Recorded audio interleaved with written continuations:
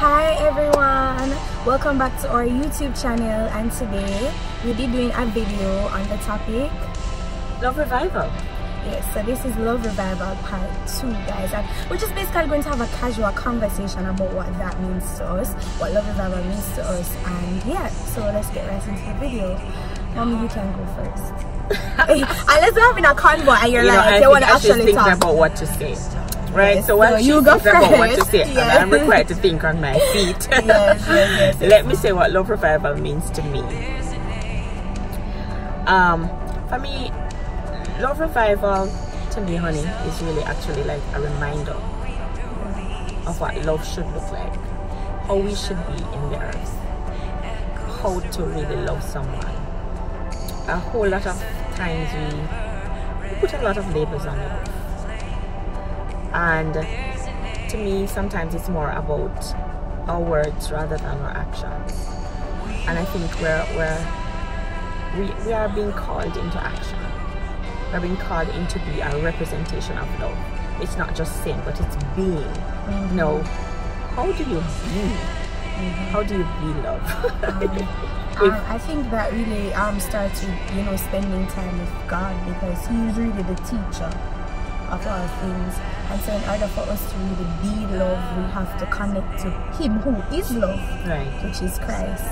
Because God is love, right? And yeah, and I think also in a more practical sense, though it all starts one day at a time because you know you, we're not just going to jump up and love unconditionally Because loving somebody and being selfless is like the shedding away of your flesh like each time you have to go out of your way to show love to somebody it's actually breaking your pride and you so it takes time right It's so it's true. in the simple things you know it's in some of the simple things right mommy in, And you in- said in- in- something.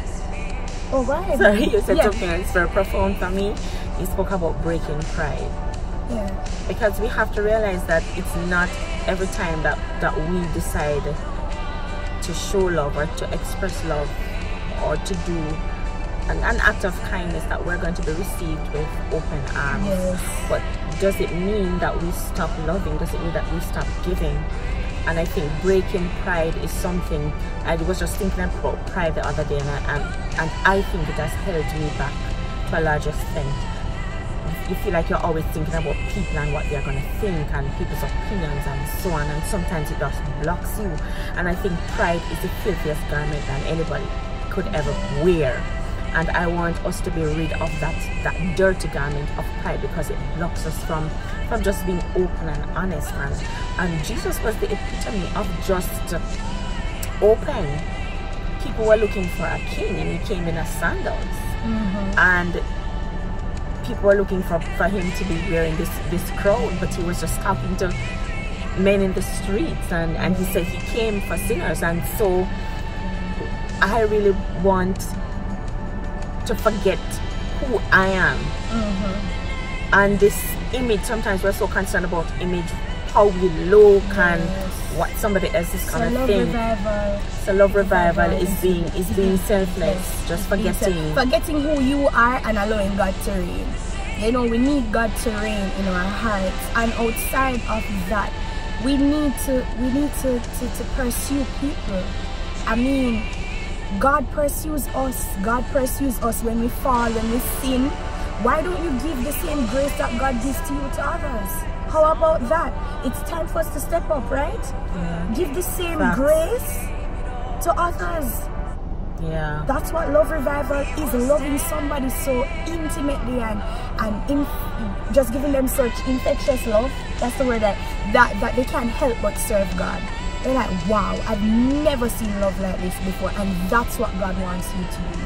Because people they won't even come to God because they don't feel loved. And trust me, if they feel loved, because that's what people want, love. That's what they need. We, we, we search out to, to, to um to be like others. We seek after to please people, you know, because we want to feel loved. But God loves us regardless. It doesn't matter what. And if persons feel the love of God through your life, you don't think they're gonna serve God? Yeah, that's what we want. Yes. So, love revival Love is to make it infectious. To love so hard to love so unconditionally that it breaks down every single defense in the other person, in Yes, men, women, amen, boys, girls, for them to feel it in, in such a way. And it's not just it's just being genuine about the thing. Yeah. Just really doing it because you want to do it.